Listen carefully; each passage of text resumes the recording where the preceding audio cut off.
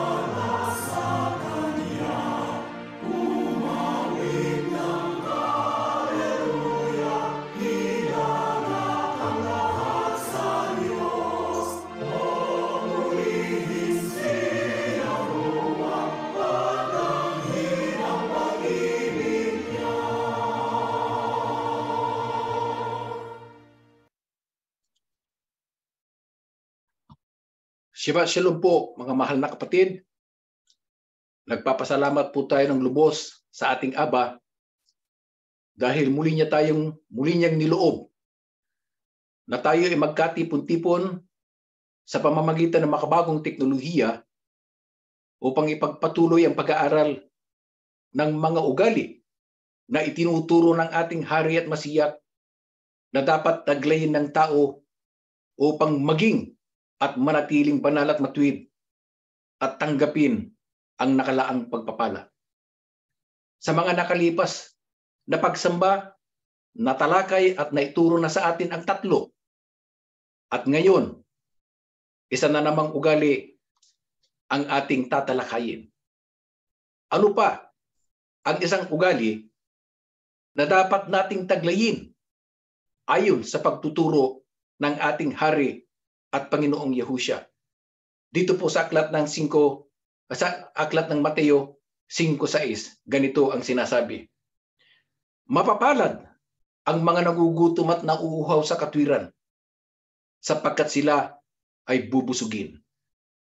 Ano pa ang isang ugali na dapat nating taglayin ayon sa pagtuturo ng ating hari at Panginoong Yahusya? Yung ugaling nagugutom at nauuhaw sa katwiran. Alin po itong katwiran na tinutukoy ng ating Panginoong Yahusya na dapat kagutuman at kauhawan ng tao? Sa aklat pa rin po ng Mateo 5.20.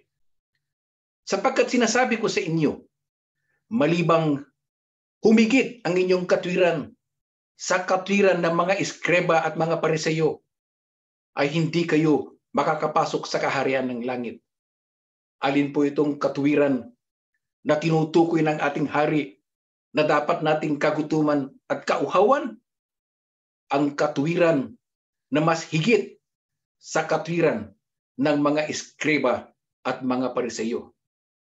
Ano po kasing uri ang katwiran ng mga eskreba at mga pariseyo? Kaya sinabi ng ating hari na tiyakin natin ng ating katwiran ay higit kaysa kanilang katwiran. Saklat pa rin po ng Mateo 23, 27 hanggang 28. Nakakaawa kayong mga takapagturo ng kautusan at mga pariseyo. Kayong mga mapagkunwari. Katulad kayo ng mga libingang pininturahan ng puti at magandang tingnan sa labas. Pero ang nasa loob ay puro kalansay at iba pang maruming bagay. Ganyang-ganyan kayo dahil kung masdan kayo ng mga tao ay parang tama ang ginagawa ninyo. Pero sa loob ninyo'y puno kayo nagpagkukunwari at kasalanan. Paano po ipinili, ipinilirawan ng Biblia ang katwiran ng parseyo? Pagkukunwari. Balat kayo mga kapatid nagpapanggap lamang, pakitang tao, kahambugan, karangyaan. Kaya hindi lamang tayo tinatagubilinan ng ating hari na iwasan ang kanyang katwiran, kundi ipinag-uutos niya na tiyakin natin na ang ating katwiran ay mas higit sa katwiran ng mga hambog at mapagkunwari. Ano po ang kalagayan ng taong nagtataglay ng katwiran ng mga pariseyo. Ang pagtataglay ng katwiran ng mga pariseyo ay katumbas ng pananatili sa kalagayang kasalan, makasalanan. Sa makatwid, ang taong tinataglay ang katwiran ng mga pariseyo ay taong makasalanan. Paano tayo makatitiyak na ang katwiran natin ay mas higit sa kahambugan at pagkukunwari aling katwiran ang dapat kagutuman at kauhawan natin sa aklat po ng Filipos 3, 7 hanggang 9. Gayunman, ang mga bagay na sa akin ay pakinabang ay inari kong kalugihan alang-alang kay Kristo. Oo nga, at lahat ng mga bagay na inari kong kalugihan ay inari kong kalugihan dahil sa dakilang kagalingan ng pagkakilala kay Kristo Yahusya na Panginoon ko. na alang-alang sa kanya'y tiniis ko ang kalugihan ng lahat ng mga bagay at inari kong sukal lamang upang tamuhin ko si Kristo. At ako'y masumpungan sa Kanya na walang katwirang aking sarili sa makatwid bagay sa kautusan, kundi ang katwirang sa pamamagitan ng pananampalataya kay Kristo. Ang katwirang ang katwirang ng buhat sa Diyos sa pamamagitan ng pananampalataya. Aling katwiran po ang dapat nakagutuman at kauhawan natin ayon sa ating binasa ang Panginoong Yehusya. Siya ang katwiran na nais ng ating alahim na kagutuman at kauhawan natin. Ano ang katunayan na ito ang nais ng ating Aba? Ang sabi ng binasa, siya ang katwiran na buhat o galing sa ating Aba. Siya ang ibinigay ng ating alahim na maging katwiran natin. Napakapalad natin mga kapatid. Sapagkat sa kasalukuyang panahon, tayo ang naging katuparan ng mga pangungusap ng ating hari. Nakita ng ating Aba, hindi lamang ang ating pag-iisip, kundi ang ating puso at ugali. Kaya tinipon tayo dito sa assembly at ibinigay niya ang ating masiyak upang maging ating katwiran. Ang totoo, ang Panginoong Yahusya ang naging katwiran natin noon, siya pa rin ang katwiran natin ngayon at mananatiling siya ang katwiran natin magpakailanman. Sino ang dapat nating tularan upang magkaroon tayo ng iba yung kalakasan at panindigan? Si Apostol Pablo. Paano po ipinakita ni Apostol Pablo ang kahalagahan ng ating hari bilang katwiran? Ang salita po ay lahat. Lahat ng mga bagay na sa kanya'y pakinabang sana ay inari niyang kalugihan makamtan lamang ang ating hari. Nabusog ba si Apostol Pablo kay Yahusya na ating Panginoon? Opo. Kumpara kay Yahusya na ating Panginoon, lahat ng mga bagay, kayamanan, ari-arian, o antas, antas man sa lipunan, ay itinuring ni Apostol Pablo bilang suka lamang o mga basura. Bakit ko sinasabi na tularan natin si Apostol Pablo? Sapagkat napakadelikado ang panahon natin ngayon. Maraming mga relihiyoso ang katulad ng mga pariseyo. Pinagmamalaki at ginagamit ang mga tagumpay at pagkakilala na tinanggap dahil sa kanilang mga gawang pangrelihiyon. Subalit hindi magawang tanggapin ng ating Panginoong Yahusya ang katwiran na buhat sa Diyos. Para sa kanila mga kapatid, ang ating Panginoong Yehosya ay hindi sapat. Kaya naghahanap pa sila ng leader nila dito sa lupa. At ang masama, mga papuri na dapat iyalay sa ating Aba at sa ating masiyak ay sa kanilang leader nila iniaalay. Maraming tao ang naaakit ang mga taong ito. Huwag po tayong makikinig sa kanila. Kahit pa ang nagsasalita ay mahal pa natin sa buhay. Dapat nating tandaan na ang ating Aba mismo ang nagtalaga sa kanyang bugtong na anak upang maging iisang tagapagligtas, Panginoon at Hari. Hindi na tayo hahanap pa ng iba. Para sa atin, sapat na ang Panginoong Yehusya na katwiran natin. Sa kabila ng katotohanan ito, bakit po maraming tao ang hindi magawang tanggapin o kilalanin ng Panginoong Yehusya bilang katwiran? Ano po ang kanilang kinauuhawan at kinagugutuman? Sa aklat po ng Juan 6.27 Magsigawa kayo, hindi dahil sa pagkaing napapanis, kundi dahil sa pagkaing tumatagal sa buhay na walang hanggan na ibibigay sa inyo ng anak ng tao sapagkat siyang tinatakan ng Ama sa makatwid bagay ang Diyos. Ano po ang kinauuhawan o kinagugutuman ng marami? Yung pagkaing napapanis. Ano po ito? Ito po ay tumutukoy sa mga material na bagay. Ari-arian, kayamanan, karangalan at antas sa lipunan. Sa ano dapat magpagal ang tao? Pagkaing tumatagal sa buhay na walang hanggan. Dapat doon ituon ng tao ang kanyang kalooban at pansin. Ipagpapatuloy po ang ating pag-aaral. Shabbat Shalom mga mahal na kapatid. Sa unang bahagi po ng ating pag-aaral, natutuhan natin ang isa pang ugali o katangian na dapat nating taglayin. Yun po ang magutom at mauhaw sa katwiran. Na ang katwiran po ay dapat higit sa katwiran ng mga pariseo. At alam natin na ang katwiran sinasabi ay ang ating Panginoong Yahusya mismo. Siya ang katwiran na sinasabi ng banal na kasulatan. At ang sinabi pa rin po kailangang hanapin natin ang pagkain na tumatagal sa buhay na walang hanggan. Hindi yung pagkain na napapanis. Ngayon, ano po ang pagkain na tumatagal sa buhay na walang hanggan?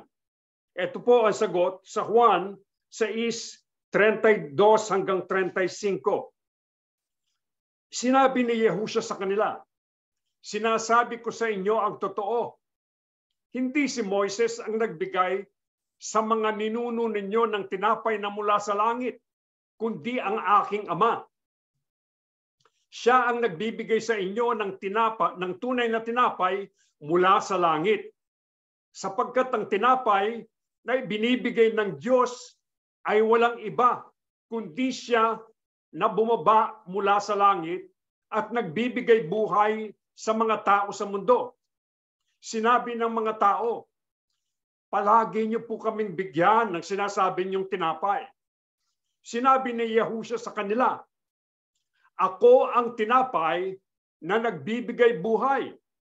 Ang sinamang lumalapit at sumasampalataya sa akin ay hindi na magugutom o mauuhaw kailanman. Ano po ang pagkain na tumatagal sa buhay na walang hanggan. Dito po sa talatang binasa natin, may dalawang uri po ng pagkain o tinapay na binabanggit. Alin po yung isa? Ang isa po ay yung pagkaing mana, yung tinapay na mana na nanggaling sa langit sa panahon ni Moises. Sino po ang nagbigay ng tinapay na mana sa mga Israelita? walang iba kundi ang ating alahim. E yung po bang mana, nagbibigay ba ng buhay na walang hanggan sa mga Israelita? Hindi po. Tumatagal po ba yon hanggang sa buhay na walang hanggan? Hindi rin po. Katunayan po, yung mga Israelita, pagka sila nanguha ng mana at natira kinabukasan. Ano pong nangyayari? Panis na yung mana kung hindi inuuod pa. Eh ano po ang ikalawang uri ng tinapay na ibibigay din ng ating Yahuwa Aba? Ang tinapay na nagbibigay buhay sa mga tao sa mundo. Ano po ang pahayag ng ating Panginoong Yahusha tungkol sa tinapay na nagbibigay buhay. Ang sabi po niya, ako ang tinapay na nagbibigay buhay. E sino po ang makakasumpong sa tinapay na nagbibigay buhay? Yung pong lumalapit at sumasampalataya sa ating Yahushua HaMashiach sila po ang hindi na magugutom o mauuhaw kailanman. E ano po ang panunumbat ng ating Panginoong Yahusya sa mga taong sumusunod at nagsisihanap sa Kanya. Sa Juan din po, sa is 26 hanggang 27 at 35. Sinagot sila ni Yahusha at sinabi, Katotohanan, katotohanan sinasabi ko sa inyo. Ako'y inyong hinahanap, hindi dahil sa inyong nangakitang mga tanda, kundi dahil sa kayo'y nagsikain ng tinapay at kayo'y nangabusog. Magsigawa kayo, hindi dahil sa pagkaing napapanis, kundi dahil sa pagkaing tumatagal sa buhay na walang hanggan na ibibigay sa inyo ng anak ng tao. Sapagkat siyang tinataka ng Ama sa makatwid bagay ang Diyos. Sa kanila'y sinabi ni Yahusya, Ako ang tinapay ng kabuhayan. Ang lumalapit sa akin ay hindi magugutom. At ang sumasampalataya sa akin kailanman, kailan may hindi mauuhaw. Ano po ang panunumbat ng ating Panginoong Yahusya sa mga taong nagsisunod at nagsisihanap sa Kanya? Sabi niya, ako'y inyong hinahanap hindi dahil sa mga nakita ninyong mga tanda, kundi dahil nagsikain kayo ng tinapay at ng abusog. Ibig sabihin po, yung mga binanggit ng Panginoong Yahusya ay hindi nila natandaan yung mga tanda ng ating Panginoong Yahusya nga. Ang Kristo na ipinadala ng ating Yahuwa Aba, hindi nila nakita. Ano pong nakita nila? Yung pagkain. At sila'y nagabusog. Kaya ano po sabi ng Panginoong Yahusya sa kanila? Magsigawa kayo, hindi dahil sa pagkain napapanis, kundi sa pagkain tumatagal sa buhay na walang hanggan. Eh kanino po masusumpungan ang tinapay na hahantong sa buhay na walang hanggan? Sa ating pong Panginoong Yahusya. Ano pong sinabi ng Panginoong Yahusya sa kanila? Ako ang tinapay ng kabuhayan o tinapay ng buhay. Eh ano po ang dapat nilang gawin upang makamit ang tinapay ng buhay? Lumapit at sumampalataya sa ating Panginoong Yahusya upang hindi na sila magutom o mauhaw man. Eh sino po ang mga tunay na nagugutom at nauuhaw sa ating Panginoong Yahusya. Ito po ang sagot sa Juan sa is 56 hanggang 58. Ang kumakain ng aking laman at umiinom ng aking dugo ay nananatili sa akin at ako naman sa kanya Buhay ang Ama na nagsugo sa akin at ako'y nabubuhay dahil sa Kanya. Gayon din naman, ang sino mang kumain sa akin ay mabubuhay dahil sa akin. Ito ang tinapay na bumaba mula sa langit. Hindi ito katulad ng kinain ng inyong mga ninuno sa ilang. Namatay sila kahit na kumain yon ang kumakain ng tinapay na ito ay mabubuhay magpakailanman. Sino po ang tunay na nagugutom at nauuhaw sa ating Panginoong Yahusya? Sila po na kumakain sa laman at umiinom sa dugo ng ating Panginoong Yahusya. Ito po ba ay literal na pagkain ng laman at pag-inom sa dugo ng ating Panginoong Yahusya? Hindi po. Hindi po. Eh sino po ang kumakain at umiinom sa ating Panginoong Yahusya? Sila po na ganap na nananatili sa Panginoong Yahusya at ang Panginoong Yahusya sa kanila meron po bang mga alagad na hindi nanatili sa ating Panginoong Yahusya? Meron po. Ang katunayan po sa tagpong ito, nung sabihin niya do sa mga alagad, hinahanap ninyo ko hindi dahil sa nakita niyo yung mga tanda, kundi dahil na nagsikain kayo at nangabusog. At sinabi nga niya, kailangan kainin ninyo ang aking laman at inumin nyo ang aking dugo. Eh ano po ang naramdaman nung marami, nung marinig ni Leon? Natisod sila. Ang sabi nila, matigas na pangungusap ito. Sinong makakatanggap nito? Kaya ano po ang ginawa nila? Iniwan nila ang ating Panginoong Yahusya. Kaya ano po ang ginawa ng Panginoong Yahusya? Binalingan yung labindalawa. Tinanong sila, eh kayo, gusto nyo rin bang umalis? Ngunit sumagot si Apostol Pedro, San po kami tutungo, Panginoon? Nasa iyo ang salita ng buhay na walang hanggan. At sumasampalataya kami at nakilala namin na ikaw ang Kristo, ang anak ng Diyos na buhay. Kaya yun po, ganun po ang pagkain at pag-inom sa laman at dugo ng ating Panginoong Yahusya. Sasampalataya tayo. Maniniwala na tayo na nasa Kanya ang salita ng buhay. Ang katunayan po, mga mahal na kapatid, ano po ang tawag sa ating Panginoong Yahusya? Siya ang salita ng Diyos.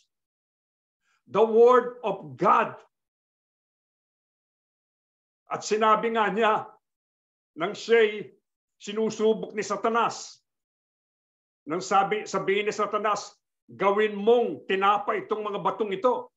Ang sabi niya, hindi lang nabubuhay ang mga tao sa tinapay, kundi sa mga salita ng Diyos na nanggagaling sa kanyang bibig ang ating Panginoong Yahusya ay salita ng Diyos. Siya din ang katwiran ng Diyos. Nagkatawang tao upang tayo'y tubusin sa ating mga kasalanan. Kaya pagka kumain tayo sa Kanya, hindi na tayo magugutom man. Hindi na tayo mauuhaw. Kaya ano po ang ibig sabihin ng pagkain at pag-inom? ng laman at dugo ng ating Panginoong Yahusya. Ibig sabihin nun, mabubuhay tayong kaisa ang ating Panginoong Yahusya. Mabubuhay tayo dahil sa ating Panginoong Yahusya Hamasiya. At tayo ang mabubuhay magpakailanman. Nakat, nakalaan sa atin ang buhay na walang hanggan. Gano po natin kadalas dapat kainin ang ating Panginoong Yahusya? o gaano kadalas natin dapat hanapin. Maaaring sabihin, aba, tuwing uh, Sabado, tuwing Sabat, hinahanap ko ang Panginoong Yahusya. Eh, sapat po ba yun? Baka kung Sabat ka lang kakain, baka hindi ka tumanggap, hindi tumanggap ng sustansya, yung kaluluwa mo, kulang. Eh, nakikinig din po kami ng uh, Bible Question and Answer, tsaka Bible History Project. So three times po. Eh siguro kulang pa rin yun. Eh papano? Kung papano kumakain tayo, gaano kadalas po ba tayo kumain? Siguro po dalawa at tatlong beses sa araw, hindi po ba? Maaaring dalawang beses kung may merong intermittent fasting o kaya once a day. Pero ibig sabihin, kakain tayo ng madalas. Ano ibig sabihin nun? Lalapit tayo sa ating Panginoong Yahusya ng madalas, araw-araw. At sasampalatayo, sasampalatayo, sasampalataya tayo sa Kanya. Sino po ang halimbawa ng ganap na nakipag-isa at nabuhay dahil sa ating Panginoong Yahusya?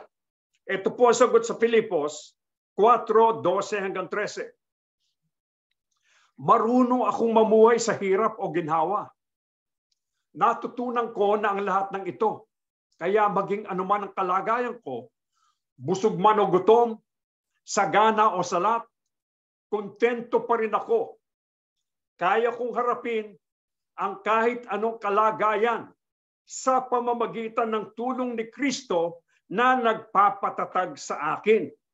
Sino po ang halimbawa ng ganap na nakipag-isa at nabuhay dahil sa ating Panginoong Yahusya? Si Apostol Pablo po. Eh ano po ba ang natutunan ni Apostol Pablo? Ang sabi po niya, anuman ang aking maging kalagayan, busog man ako o gutom, sagana o salat, kontento pa rin ako. Bakit po? Kung kapiling niya ang ating Panginoong Yahusya. Kaya paano po niya nakakayanang harapin ang kahit anumang kalagayan? Kung kung malalaman po natin ang kasaysayan ni Apostol Pablo, siya po ay dating si Saul. Isang fariseo, miyembro ng Sanhedrin, siya ay tumutugis doon sa mga Kristiyano, mamamayang Romano, kaya nasa ika nga eh, mataas na bahagi ng lipunan si Apostol Pablo nung siya si Saul pa. Ngunit nang siya ay tawagin ng ating Panginoong Yahusya at maging tagasunod ng ating Panginoong Yahusya, ano pong nangyari? Sa halip na tumutugis siya ng mga Yahusyan, siya na tinutugis ngayon. At ano pa ang ginagawa? Ipini, binibilanggo siya, hinahampas. Kaya mahirap ang pinagdaanan ni Apostol Pablo. Ngunit ang sabi niya, lahat na kayanan ko. Bakit po? Dahil umaasa ako sa Panginoong, Panginoong Yahusya Kristo na nagpapatatag sa akin. Ganyan, ganun din po ang dapat nating gawin. Umasa tayo sa ating Panginoong Yahusya Kristo. Eh paano po natin matatamo ang ating Panginoong Yahusya? Ito po ang sagot sa mga taga-Efeso 3, 16 hanggang 17 at 19 hanggang 20. Idinadalangin kong palakasin niya ang inyong buhay espiritual. Ayon sa kanyang kayamanan at kadakilaan sa pamamagitan ng kanyang espiritu. Naway manatili si Kristo sa inyong mga puso sa pamamagitan ng inyong pananalig sa Kanya Dalangin ko na ang lahat ng inyong gawain ay naguugat sa pag-ibig. At sana'y malaman ninyo ang buong pag-ibig ni Kristo na hindi kayang abutin ng pag-iisip upang kayo'y mapuspos ng kapuspusan ng Diyos. Sa Kanya na makag- makakagawa ng higit pa kaysa maaari nating hilingin at isipin sa pamamagitan ng kanyang kapangyarihang naghahari sa atin. Paano po natin matatamo ang ating Panginoong Yahusya? Idalangin natin sa ating Yahuwa Aba na palakasin ang ating buhay espiritual. Paano po natin magagawa yun? Ang sabi sa talata manalig tayo sa ating Panginoong Yahusya Kristo. Eh ano pong ibubunga nun? Mananatili sa puso natin ang Panginoong Yahusya. Ano pa po ang dapat nating gawin? Idalangin natin na ang lahat ng ating gawain ay nagugat sa pag-ibig. Kailangan po nakasalig sa pag-ibig bakit po? Upang madama natin ang buong pag-ibig ng ating Yahusya Kristo na hindi kayang abutin ng pag-iisip. Pagka nadama natin yan, hindi natin alam. Basta na lang natin mararamdaman. Parang may yumayakap sa atin. Merong malakas na kapangyarihan na sumasama sa atin. Kaya anuman ang ating kalagayan sa buhay, kamukha ng pinagdaanan ni Apostol Pablo, mga kahirapan, mga pagsubok, mga karahasan, mapapagtagumpayan nating lahat. Kapag ganyan ang ginawa natin, tayo mapupuspos ng kapuspusan ng Diyos. Pag napuspos po tayo ng kapuspusan ng Diyos, makakagawa tayo ng higit pa kaysa maaari nating isipin o hilingin sapagkat nananatili ang kanyang kapangyarihan sa atin. Kaya ano po ang ipinag-uutos sa atin ng ating Panginoong Yahusya? Ito po ang huling talata na babasahin natin. Pahayag 3, 20 hanggang 21. Ito po ang revelation. Nakatayo ako at kumakatok sa pintuan. Ang nakatayo po dito ay ang ating Panginoong Yahusya. Kung diringgin nino man ang aking tinig at bubuksan ang pinto, papasok ako sa kanyang tahanan at kakain kaming magkasalo. Ang magtatagumpay ay uupong katabi ko sa aking trono. Tulad ko na nagtagumpay at nakaupo ngayon katabi ng aking ama sa kanyang trono. Ano po ang sinasabi sa atin at pinag-uutos ng ating Panginoong Yahusya? Ang sabi niya, hintayin at dinggin natin ang kanyang pagkatok. Ano pa po? buksan ang ating mga pintuan at papasukin natin siya sa ating mga tahanan. Pagka ganun ang ginawa natin, ano po ang gagawin ng ating Panginoong Yahusya?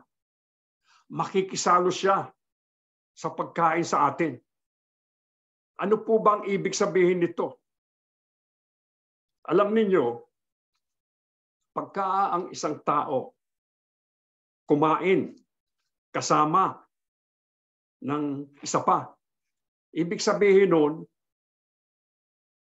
sila ay nagkakasundo, may pagmamalsakit sa isa't isa, habang kumakain ng mga tao, yung kanilang mga inhibition, mga defen- defenses, eh bumababa. Kaya naipapahayag nila ang kanilang mga saloobin.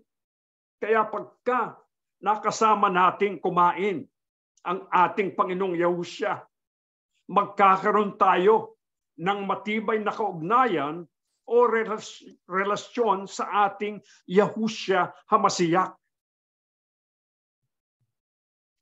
Eh ano po ang pangako ng ating Panginoong Yahusya? Ang sabi niya, ang magtatagumpay ay uupong katabi niya sa kanyang trono. Eh bakit po niya nasabi to? Ang magtatagumpay.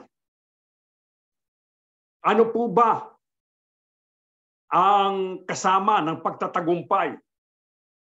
Anong ibig sabihin nun? Ibig sabihin, magdadaan ka sa maraming mga balakid, maraming mga pagsubok. Mga pagsubok na katulad ng pinagdaanan ng ating Panginoong Yahusya.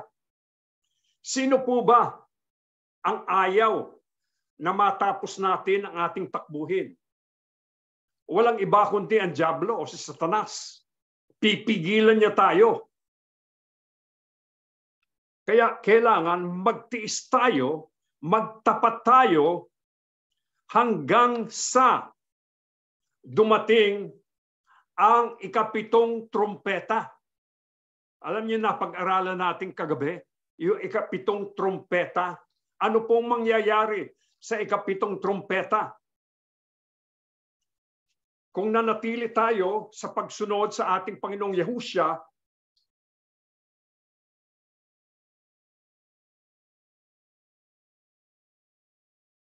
kung sa ating Panginoong Yahusya ay ibig sabihin po babaguhin yung ating mga katawan. Ano po mangyayari? Gagawing malwalhating katawan. Bakit po?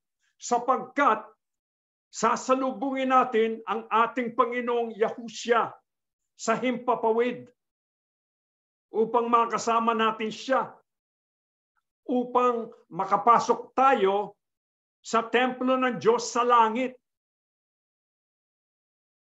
Kaya yung po mangyayari. At tayo po, kung makakasama tayo sa rapture o sa harpacho, ibig sabihin po, tayo, hindi na tayo magdaranas ng parusa ng Diyos na nakalaan sa mga tao. Yung pong pitong mangkok ng kagalitan o kapuotan ng ating Yahuwa Aba. Hindi na tayo magdadanas noon. Kaya dapat magtapat tayo. Kaya dapat nating sundin ang lahat ng utos ng ating Yahuwa Aba at ng ating Yahusya Hamasiya. Kaya nga po sa mga ganitong mga pagsamba, pinag-aaralan natin yung mga mahahalagang kautusan. Kaya ngayon po, napag-aralan natin ay ang mauhaw at magutom sa katwiran. Katwiran na galing sa ating Yahusha Hamasiyak o katwiran na ating ng ating Yahusha Hamasiyak mismo. Sapagkat siya ang tinapay na nagbibigay buhay sa atin. Tulungan nawa tayong lahat ng ating Yahuwa Aba at ng ating Yahusha Hamasiyak. Tumayo na po tayo mga mahal na kapatid. O dakilang Yahuwa Alahim. Maraming maraming salamat po o dakila naming Diyos. Sapagkat sa pagkakataong ito, muli naming tinanggap ang iyong mga banal na katotohanan na ibihis namin ang mga katangian, ang pag-uugali ng aming Panginoong Yahusya. Natutuhan namin ngayon na kami magutom, mauhaw sa katwiran. Ang katwiran ng aming Panginoong Yahusya mismo. Sapagkat siya ang iyong salita. Siya ang nagkaroon ng buhay upang kami tubusin sa aming makasalanan. O dakila naming Yahuwa Aba, sino-sino po kami? Wala kaming kabuluhang mga tao. Puspos po kami ng pagkakasal at mga pagkukulang. Gayunman, damang-dama namin na naaawa ka sa bawat isa sa amin. Kaya naman nagpapasalamat kami. Sinasamba namin dinadakila namin ang iyong banal na pangalang Yahuwa Aba. Patawad po, o aming Ama, sa aming pagkakasal at mga pagkukulang. Ang dalangin po namin, o dakila naming Diyos, patuloy ka naming masunod. Mahalin ka namin ng buong puso, buong kaluluwa, buo naming lakas at pag-iisip. At itanim namin ang lahat ng iyong mga utos sa aming mga puso. Sundin namin at pag-aralan ang iyong mga utos sa aming mga tahanan upang ito'y maituro namin sa aming mga anak. Habang kami naglalakad sa daan, habang kami kumakain o dakila naming Yahuwa Aba, bago kami matulog, at sa aming paggising. At itali, itali namin ang iyong mga utos sa aming makamay bilang tanda at isulat namin sa poste ng aming mga pintuan at sa tarangkahan ng pintuan ng aming mga bahay. O dakila naming Yahuwa, patuloy mong basbasan ang iyong mga hinirang sa iba't ibang panig ng mundo ang mga anak mong may mga karamdaman. Pagalingin mo sana o dakila naming Yahuwa Ropeka. Ang mga nagdaranas ng kahirapan dahil po sa mga nangyayari sa buong mundo, ang mga digmaan sa iba't ibang panig, ang maraming mga karahasan, ang mga economic problems na hinaharap ng maraming bansa o dakila naming Ama. Sana po ibuhos mo ang iyong mga biyaya sa iyong mga lingkod at ibigay mo po ang pag-asa. Aliwin mo ang iyong mga anak sa aming mga kabagabagan, sa aming mga suliranin, upang walang makahadlang o dakila naming Diyos. Sambahin namin, paglingkuran namin ang iyong banal na pangalang Yahuwa Aba. O dakilang Panginoong Yahusya, nagpapasalamat din kami sa iyo sapagkat ikaw po, o dakila naming Panginoon, ang namatay upang matubos kami sa aming makasalanan.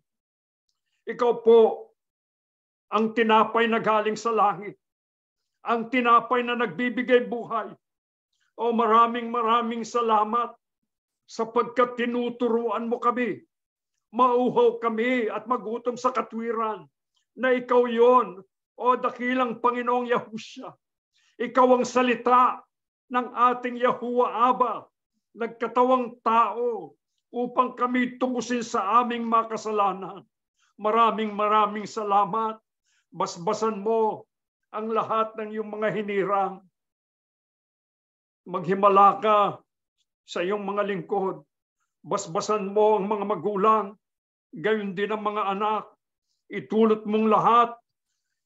Maranasan ang iyong banal na kapangyarihan upang sa ganon, o dakilang Panginoong Yahusya, kami makapanatiling naglilingkod sa iyo hanggang sa araw na isusugo ka ng ating amang nasa langit upang kami sunduin at kami makipagtipan sa iyo sa himpapawid upang makasama mo ng habang buhay. Sumasampalataya po kami o dakila naming Yahuwa Alahim, nadinig mo ang aming makaraingan. Pinagpala mo na po ang iyong mga anak. Hinihiling po namin ang lahat sa pangalan po ng aming Panginoong Yahusya, dakila po naming tagapagligtas. Amen.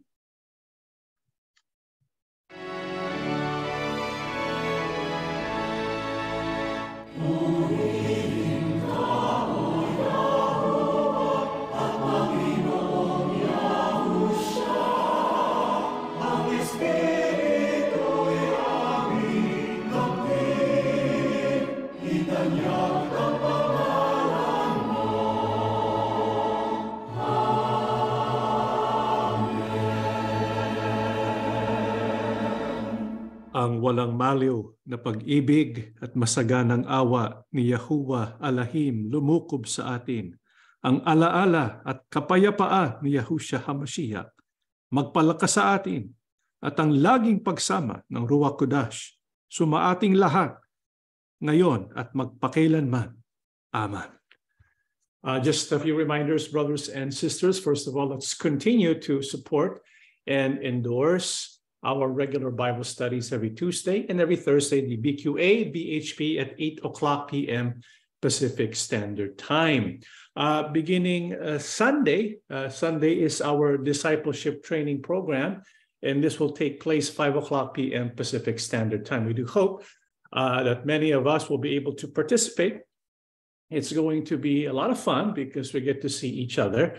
And the format of our discipleship training program uh, during the orientation will be q&a um, we will be interacting with each other. That means you can speak with me and i can speak with you because we're going to set up meeting mode uh, via zoom. And so it's going to be via zoom. Um, not facebook live but via zoom only. But uh, we may present the video um, and upload it to the discipleship training private page or um, yeah, the private page. for later use. Um, but we hope that many of us will be able to participate live uh, during the orientation January, January 15, which is this Sunday. Um, if you want to be a part of it, um, you have to go to our web, our Facebook page, and look for this banner, discipleship training program, and click it so that you can request to be added to the private group, and then we will approve your uh, request. And when you go to the discipleship training program private page, you will already see the Zoom ID. The Zoom ID we're going to be using is different from the, the Zoom ID that we are using for our worship service. The Zoom IDs have already been given. If you have not received the Zoom ID, please uh, message me. If you're having technical difficulties, please message me and we will respond and help you with that as soon as we can. And uh, let us, you know, we still have a couple of days to memorize the Shema, the Ten Commandments, and the Beatitudes. Uh, let's let's uh, download the PDF that we also made available there at the uh, private page of the discipleship training program. And lastly, let us uh, prepare for our Sacred Names Conference, which will be January 28th in Tucson, Arizona. This is an in person gathering, and it will be two gatherings actually. One is the worship service at 10 o'clock a.m. Pacific Standard Time. Then we'll have a short break for lunch, and then we resume at 12 noon to 3 p.m. Pacific Standard Time. Take note, this is California time and not Arizona time. And those who are unable to join us in person, you can still be with us in a sense by joining us through uh, Zoom or Facebook Live. That is all, and may Yahuwah Abba and Yahushua HaMashiach bless all of us.